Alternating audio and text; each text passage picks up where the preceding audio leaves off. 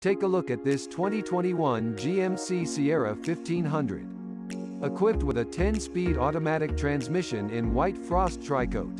This car comes with some great features including adaptive cruise control, bed liner, alloy wheels, Android Auto and more. Come in and check it out today.